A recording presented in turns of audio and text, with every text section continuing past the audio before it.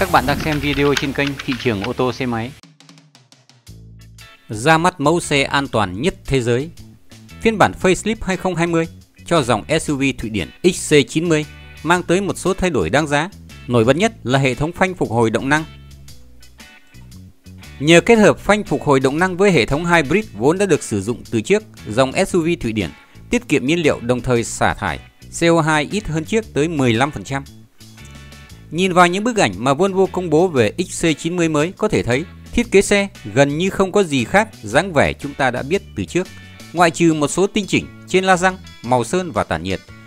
XC90 về cơ bản vẫn là dòng SUV đã giành hàng loạt các giải thưởng thiết kế khi mới ra mắt.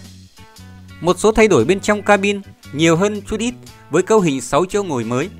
Cạnh bản Excellence 4 ghế VIP và bản phổ thông 7 ghế, chất liệu chế tạo tablo và ghế cũng được cải thiện đôi chút. Hệ thống thông tin giải trí đã tích hợp đầy đủ Apple CarPlay và Android Auto bên cạnh dịch vụ chơi và phát trực tuyến nhạc Spotify.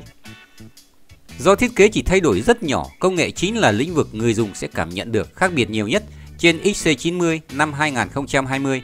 Ngoài hệ thống CARES đã nhắc tới, xe này còn trang bị khả năng hỗ trợ đánh lái, hoạt động song song với cùng tính năng cảnh báo điểm mù và phanh khẩn cấp tự động.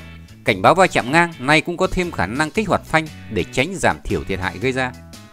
Volvo XC90 2020 sẽ bắt đầu được lắp ráp tại nhà máy ở Torslanda, Thụy Điển vào tháng 5 trước khi giao tới tay khách hàng toàn cầu từ quý 3 năm 2019.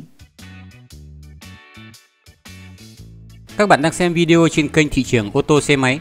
Chúng tôi luôn đem đến cho các bạn những thông tin bổ ích và lý thú với hình ảnh minh họa sắc nét và đẹp mắt. Các bạn hãy đăng ký kênh và chia sẻ bài để kênh được phát triển hơn nữa. Chúc các bạn lái xe an toàn, vui trẻ, hạnh phúc và thành công.